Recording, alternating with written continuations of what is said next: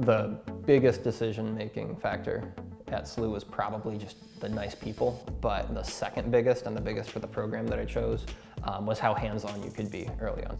I think that undergraduate research in general is a great um, sort of avenue for students who want to bolster their curriculum uh, to really make those connections with faculty um, and also just like complete what they're learning in the classroom a little bit more. I've been involved in uh, two research projects so far. I started my first one freshman year. The entire project was really like from scratch and I was like, okay, I have no idea how to build a survey. You have a mentor for that. Where do I disseminate it? You have a mentor for that.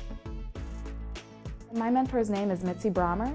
Dr. Bremer is such a wonderful person on her own. Like her personality just like, you can't help but smile whenever you go into her office.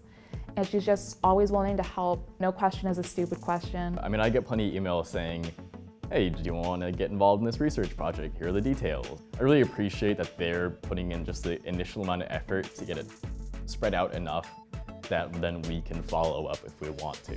We can have undergraduate students start right away uh, doing work for developing a spacecraft and it's the kind of thing that they're small enough and easy enough that you can see finish and you can see launch before you graduate.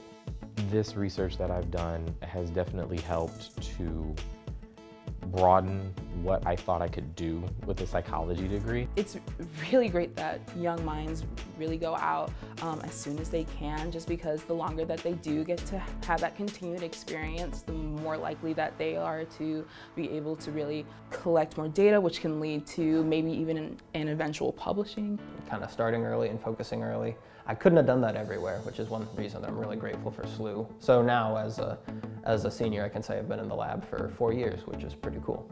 SLU's ability to give students opportunities you know, from day one is, it's just amazing.